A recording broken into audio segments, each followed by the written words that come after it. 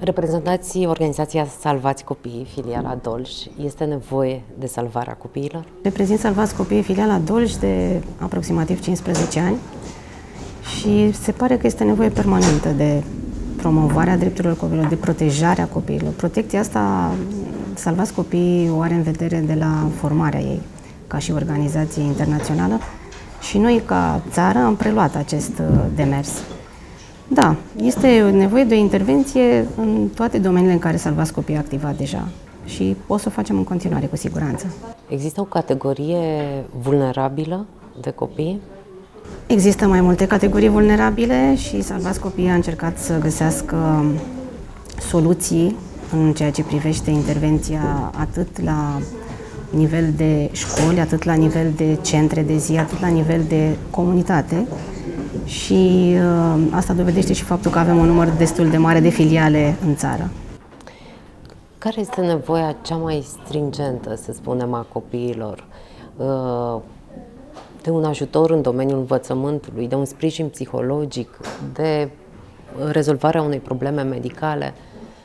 Nu știu dacă aș putea să fac o ierarhie și să pun pe primul loc o anumită nevoie, dar cred că uh, fiecare dintre cele menționate se regăsesc, depinde de mediul de vulnerabilitate din care provine copilul. Adică poate să provină dintr-un mediu în care nu are suficientă siguranță familială, dintr-un mediu în care educația nu este sprijinită, dintr-un mediu în care nu se regăsește, pentru că există și astfel de situații și, de ce nu, poate să fie o vulnerabilitate pur și simplu realizată de la natură, în sensul că și-a pierdut unul dintre părinți sau că ambii părinți sunt plecați și atunci e normal de o intervenție a societății și acolo intervine și salvați copiii și Știe unde să intervină?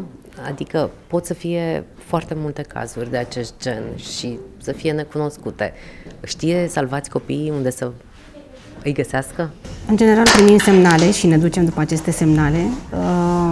Ne ghidăm foarte tare pe oamenii din Salvați Copii, echipa Salvați Copii, în general, este o echipă foarte inimoasă și foarte dedicată. Nu știu, este o familie în care, practic, parcă orice problemă își găsește soluție. Și atunci, cred că știe Salvați Copiii să acționeze și de cele mai multe ori, atunci când echipa s-a extins, pentru că de la an la an, se, cum să spun, se reînnoiește echipa și uh, se creează noi locuri de muncă și se găsesc alte soluții pentru diversele probleme, Simți o reîmprospătare veșnică acolo. Este un grup tânăr care vine cu idei și care găsește uh, pentru fiecare problemă o soluție. Vorbiți de voluntari.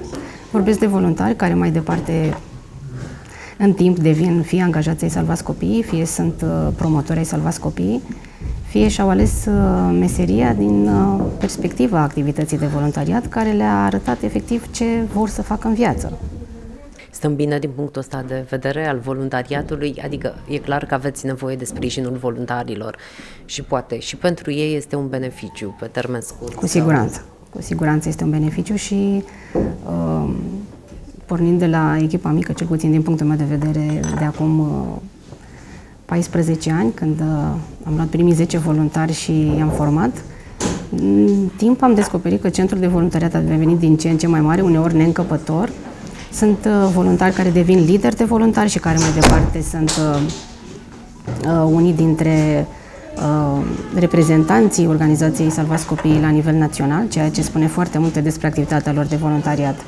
Și ajung cu oameni de nădejde a acestei societăți. Dacă e să vorbim de un proiect de suflet, care ar fi acela? Care v-a rămas noastră la suflet în cadrul uh, acțiunilor pe care le-ați organizat? Proiectul de suflet. Iarăși o întrebare grea. Uh, cred că proiectul Sigur.info, care acum se numește Ora de Net, este cel care m-a propulsat pe mine foarte tare în Salvați Copii.